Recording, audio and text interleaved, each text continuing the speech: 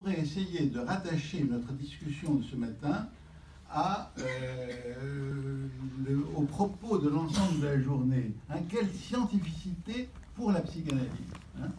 Euh, Et euh, alors, c'est vrai qu'il y a une forme faible, si j'ose dire, de cette question, qui est une forme de défense. Les psychanalystes se défendant contre l'accusation qu'on entend beaucoup contre nous, hein, c'est pas sérieux, votre méthode, hein, c'est pas scientifique, etc. Donc on, pourrait euh, euh, prendre les choses à, partir de là. La force, je crois, du livre de Moustapha Safwan, c'est qu'il nous aide à déplacer complètement cette question. C'est-à-dire non pas à nous défendre par rapport à des accusations de ce genre, mais il nous aide à voir que, bien au contraire, c'est peut-être justement à partir du discours psychanalytique euh, qu'on peut... euh, enfin, ce n'est pas un hasard, disons, si c'est l'analyste qu'est Moustapha Safran, hein, qui a pu, en tant qu'analyste et grâce à ce que lui apprend la psychanalyse, caractériser le mouvement de la science d'une façon si ferme. hein. C'est vrai que c'est un livre tout à fait exceptionnel, hein, les, gens euh, qui ont parlé avant moi le, le disent, mais, mais, mais je crois qu'il faut vraiment mesurer cela. Moi, par exemple, euh, pour cette originalité épistémologique, je dirais, je me suis reporté à un livre pourtant très sérieux, hein, qui est un livre qui s'appelle La vérité dans les sciences, avec une introduction de Jacques Bourrès et Jean-Pierre Changeux. hein. Euh, et ces, ces deux auteurs sérieux euh, présentent la question centrale de toute théorie de la connaissance scientifique de la façon suivante. Les, alors, je cite, les théories que produisent les scientifiques constituent, ça, ça serait la, problématique des théories que produisent les scientifiques constituent-elles la description objective d'une réalité extérieure, à propos de laquelle elles formulent des associations vraies, ou en tout cas approximativement vraies, ou bien, au contraire, les scientifiques ne construisent-ils que des instruments efficaces pour le calcul et la prédiction Ne font-ils que sauver les phénomènes en proposant des modèles qui leur soient adéquats Voilà, ça, pour eux, c'est la grande opposition en, ce qui concerne euh, ce que c'est que la science. Moi, il me semble que la force du livre de Moustapha Safran, c'est qu'il va au-delà. hein, il ne s'enferme pas dans cette opposition. D'une part, effectivement, le savoir ne se constitue pas comme une simple image de la réalité, mais d'autre part, sa démarche va bien plus loin que s'il ne s'agissait que de sauver les phénomènes. C'est pas, pas sauver les phénomènes apparents hein, et, voir si on a un discours qui est conforme, c'est constituer la réalité. hein. Comme le dit Moustapha Safwan, la science établit des faits dont l'ensemble constitue notre réalité. Et ça, il me semble qu'aller au-delà de- des, des- des- des impasses de l'épistémologie traditionnelle, seul un psychanalyste pouvait le faire. Alors maintenant, qu'est-ce que, euh, qu'est-ce que je voudrais quand même dire par rapport, en m'engageant dans des choses peut-être un petit peu plus difficiles? Vous voyez, je ne vais pas être long, hein. Euh, et notamment sur cette question, la psychanalyse est-elle une science? J'ai l'impression que ce qui est très bien, c'est que nous ne sommes pas tous d'accord là-dessus. hein. Euh, on le verra l'après-midi, je crois qu'on le voit déjà. Euh, question- les questions posées dans l'argument, euh, et notamment où Gérard Pommier a, pris une place essentielle, euh, vont pas exactement dans le sens de Moustapha Safran. Moi, j'ai- envie de dire la chose suivante.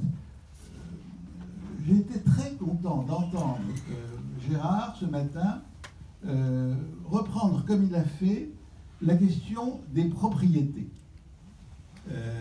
pour parler des différents types de théories en les situant comme attentives à tel type de propriété ou à tel autre.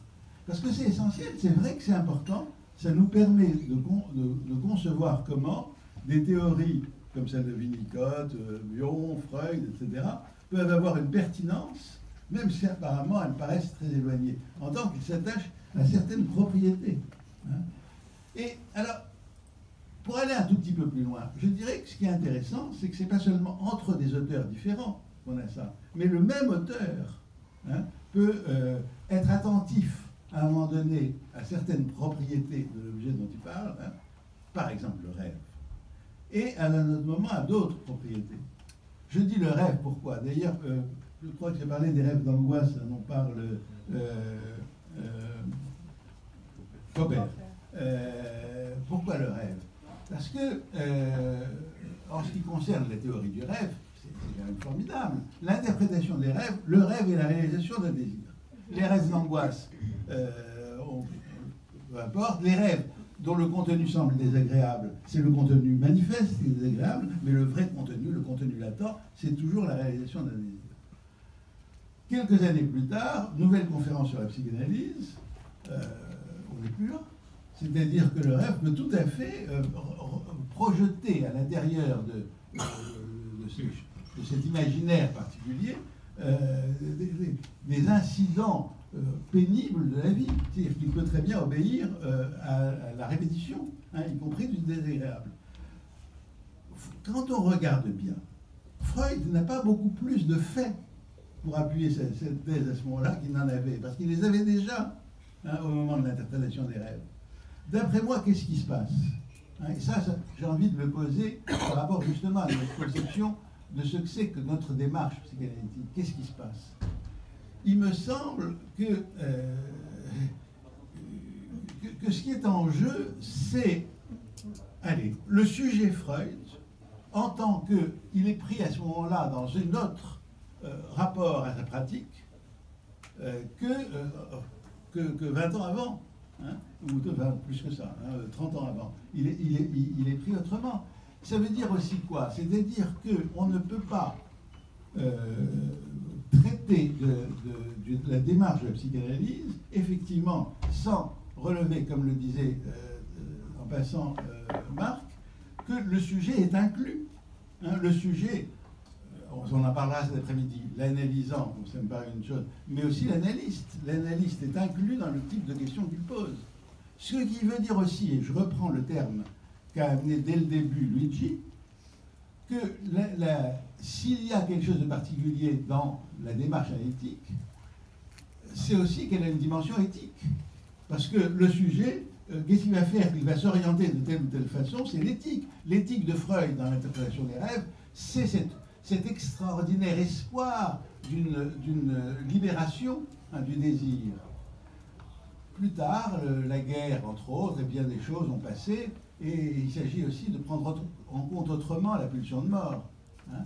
Mais, vous voyez comment euh, on a à dire de choses. Est-ce que la psychanalyse est une science? Si on décide qu'elle en est une, c'est une science qui inclut le sujet. Et deuxièmement, c'est une science qui, se définit aussi à partir de notre éthique. Hein. Vous voyez, euh, plutôt que le sujet de, de journée, la psychanalyse est-elle une science j'avais insisté pour qu'on dise quelle scientificité pour la psychanalyse. Parce que c'est ça, peut-être, me semble-t-il, la question.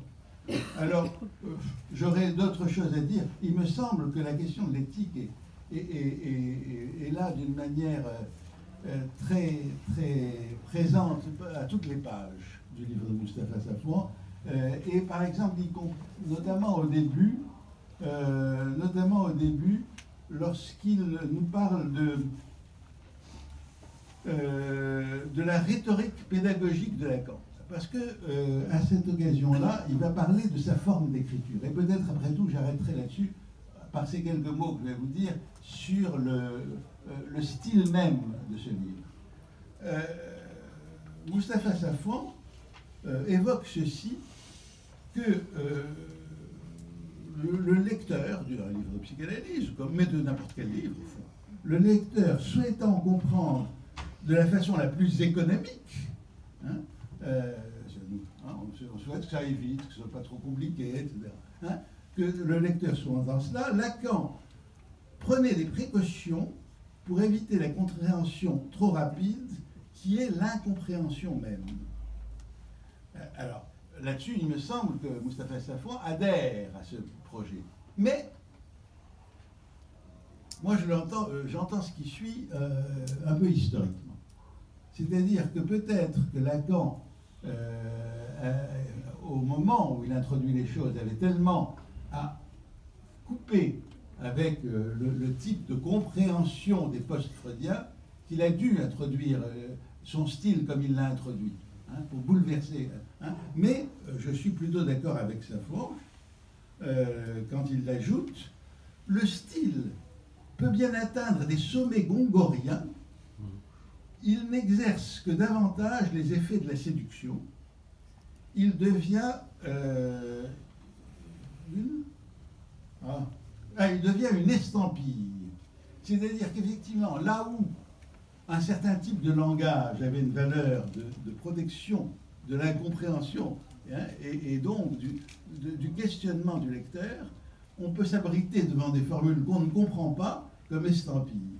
Alors, je vais vous dire quelque chose. Moi, j'aime beaucoup aussi le style de Mustapha Safan, qui, euh, sans aucun congorisme, disons, euh, euh, évite les effets de compréhension trop rapides avec plutôt un resserrement des formules hein, et des phrases qui, pour moi, peut faire penser à, une démarche scientifique.